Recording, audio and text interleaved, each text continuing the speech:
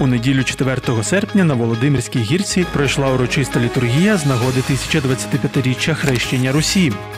Перед службою єпископи, священнослужителі та близько 500 парафіян з різних міст України пройшли пішою ходою від собору святого Олександра до пам'ятника князю Володимиру, де й відбулося богослужіння, яке очолив апостольський нунцій в Україні єпископ Едвард Галіксон.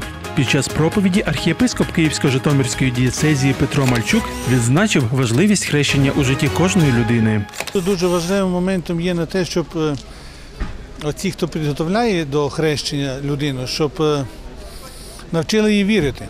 Тому що нам Євангеліє говорить, сам Ісус Христос сказав, що дід, навчайте, якщо хтось повірує, хрестіть. Щоб людина, тому що якщо людина не знає поняття віри, якщо вона не досвідчує собі віри, потім приймає хрещення і бачить, що нічого вона нового не відчуває, да? що щось нічого не міняється в житті.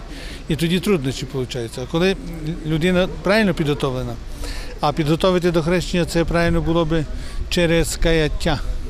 Через каяття, щоб людина усвідомила, що таке гріх, шкоду гріха, от, і потім, щоб вона пожаліла за це. Да? Нагадаємо, що тижнем раніше відбулися святкові заходи з нагоди 1025-річчя хрещення Русі, проведені православними конфесіями України. У свою чергу римсько-католицькі священнослужителі відзначили, що шкодують про те, що святкують цю дату не в один день з православними та греко-католиками. То, що нас єднає, це є хрещення. Ми всі втілені в Ісуса Христа, вщіплені в нього.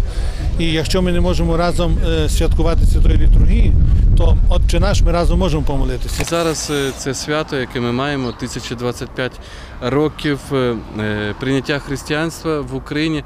Також це свято, яке, як на мене, свідчить про таку єдність між нами. Адже якщо говоримо про розкол між церквами, то він відбувся пізніше, майже, майже на 100 років пізніше, ніж е, це було е, п- прийняте хрещення в Україні.